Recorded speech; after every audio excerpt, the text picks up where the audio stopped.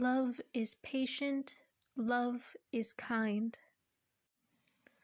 It does not envy, it does not boast, it is not proud. 1 Corinthians 13:4.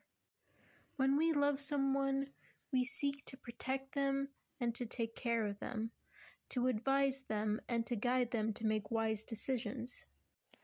However, sometimes our loved ones can ignore our advice and end up making decisions that hurt them.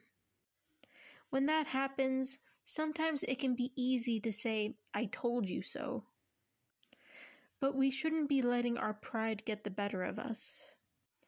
When our loved ones stumble and fall after we try to help them, we shouldn't be kicking them while they're down. We should instead help them back to their feet being patient with them and helping them through their mistakes, rather than acting high and mighty and tearing them down.